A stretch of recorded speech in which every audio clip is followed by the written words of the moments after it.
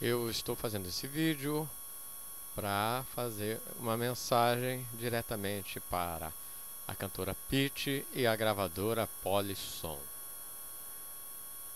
Eu quero dizer para a cantora Pete que ela é uma cantora muito boa, tem muito talento. Gostei desse disco. Eu estou com ele aqui nas minhas mãos. O disco dela original, vermelho. É ótimo, ouvi várias vezes. É uma qualidade sonora realmente muito boa, superior à do CD.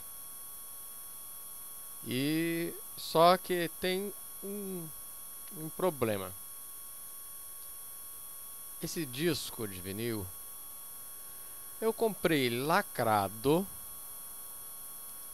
diretamente da loja virtual da internet. Então ele veio sem ninguém ter tocado nele. Eu fui o primeiro a tocar, o primeiro a botar a agulha em cima desse vinil e ouvir. E quando eu ouvi, esse disco estava cheio de ruídos, como se estivesse todo arranhado. Olhando o disco, não vi arranhado nenhum.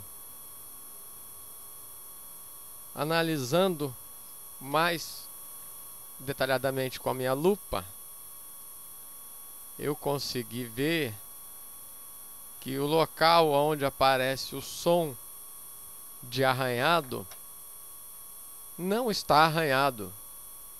É um efeito sonoro que foi acrescentado na música original.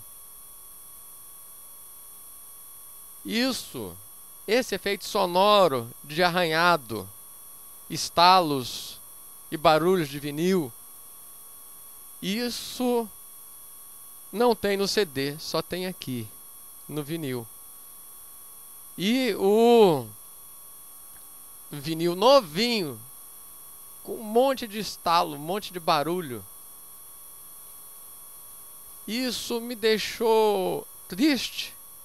Eu pensei que eh, eu tivesse é, levado um golpe né, de um lojista que poderia ter pegado um disco usado e lacrado de novo.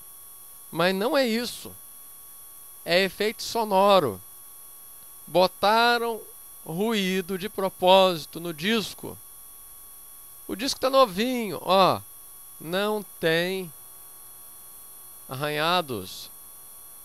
Esse disco não tem arranhados, ele está novinho.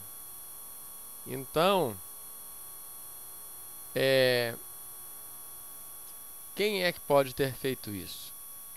Somente duas pessoas. Ou foi a roqueira Pete artista do disco, ou foi a gravadora Polisson que fabricou o disco. Eu fiquei triste, porque a qualidade sonora foi afetada. A qualidade sonora do disco ela não pode ter interferência de, de ruído. Eu já comprei outros discos novos, de música nova importada. Por exemplo, o Harlem Shake. O Harlem Shake ele é feito com vinil branco e algumas manchas coloridas em toda todo o disco.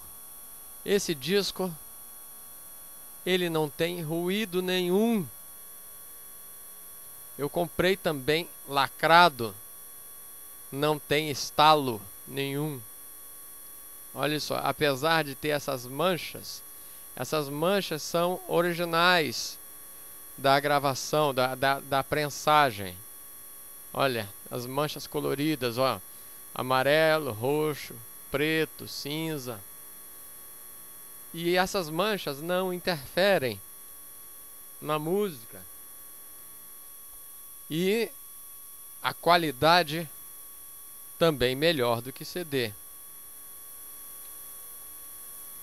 Outro disco importado também que eu comprei, Daft Punk, Get Lucky. Música nova, ó, Daft Punk. Comprei. E esse disco também, novinho, veio lacrado. Eu fui o primeiro a ouvir. E não tem nenhum ruído. Ele não tem estalos, não tem nada. Olha só. É um disco novinho também. Então, esse disco aqui é a mesma tecnologia da Polisson. Esse disco, eh, disco aqui ele foi fabricado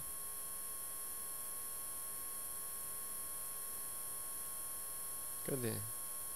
Nos Estados Unidos, Daft Punk foi fabricado nos Estados Unidos e a qualidade sonora é ótima, sem ruído nenhum. Por que que no Brasil vai ser diferente dos outros? Por que, que só nós temos o disco de vinil com ruído acrescentado na música como se fosse um efeito sonoro? Olha, eu estou acostumado a trabalhar com disco de vinil. Eu já trabalhei com muitos discos, já fui radialista, já fui DJ. Atualmente eu estou desempregado, não tenho emprego fixo. Eu estou trabalhando autônomo, DJ de festa. Mas a qualidade dos discos varia conforme a gravadora, conforme o país que é fabricado. Então, o, a qualidade do disco brasileiro é diferente e eu não entendo por quê. Eu não entendo por que é que acrescentam ruído de propósito numa música. Se nas rádios e, e na, no, nas gravações em geral, eles fazem efeitos para tirar o ruído. Muitas rádios, quando transformam os discos de vinil para MP3 ou então transforma o disco de vinil para CD, no próprio processo de transformação do disco para arquivo digital, é feito a redução de ruído para eliminar esses ruídos. Os ruídos nunca foram bem-vindos, os ruídos são incômodos, atrapalha a música. Então, é a minha mensagem, tanto para a roqueira Pitch quanto para a gravadora Polisson é essa. Vocês estão queimando seu filme, acrescentando ruído no disco. A qualidade do disco de vinil brasileiro não, não deveria ser diferente do disco produzido nos Estados Unidos, na Alemanha, na Inglaterra na Espanha, na Holanda. O disco de vinil, vinil é um derivado de petróleo, um produto derivado do petróleo. E o processo de fabricação é o mesmo no mundo inteiro. O vinil, tanto faz preto ou colorido, ele tem uma composição química só é vinil, é derivado de petróleo. Então, é, é como por exemplo assim: se eu tenho a fórmula de um de um bolo, eu tenho uma receita de um bolo. Eu pego aquela receita, sigo a receita e eu faço o bolo do mesmo jeito que minha mãe faz, do mesmo jeito que a minha avó fazia, do mesmo jeito que todo mundo faz. O Brasil, eu não sei porquê, está fugindo da receita. Eles não estão fabricando o disco com a receita internacional, com, com o padrão internacional. O padrão internacional é disco sem ruído. O brasileiro tem ruído? Que inovação é essa?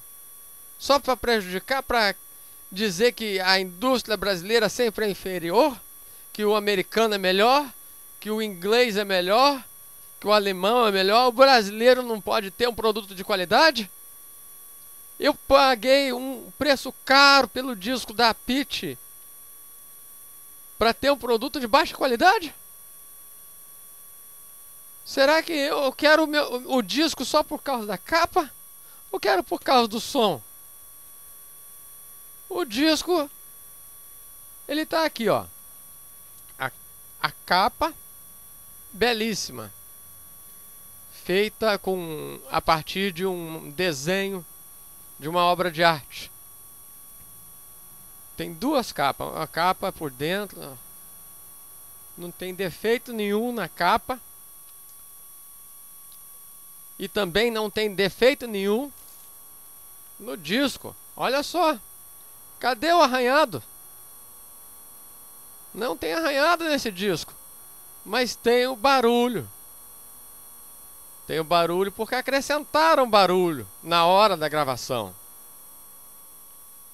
Esse, essa é a mensagem que eu queria dizer para a roqueira Pitch e para a gravadora Polisson da minha chateação. Eu fiquei chateado. Eu fiquei chateado. Roqueira Pitch, gravadora Polisson.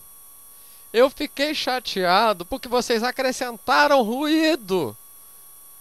Não era para acrescentar ruído. Nenhum país do mundo faz isso. Por que, que aqui o Brasil vai fazer? Por que, que você, roqueira Pitch, você que eh, gosta de uma música de qualidade, tanto que mandou fabricar disco de vinil, porque a qualidade do som do vinil é superior à qualidade do CD. Você sabe disso e todo mundo que coleciona disco de vinil também sabe a mesma coisa. Olha só, os fabricantes do disco de vinil da Pitch estão brincando com o povo. Estão vendendo um produto com a qualidade sonora alterada para queimar o filme do Brasil, para dizer que nós não temos produto de qualidade, que o nosso vinil não é de qualidade. Nosso vinil tem qualidade sim. E basta vocês é, saberem trabalhar. Use a receita correta. A receita correta é vinil não pode ter ruído. É isso que eu queria dizer. Espero que essa mensagem chegue para quem tem que chegar, para a roqueira Pitch e para a gravadora Polisson.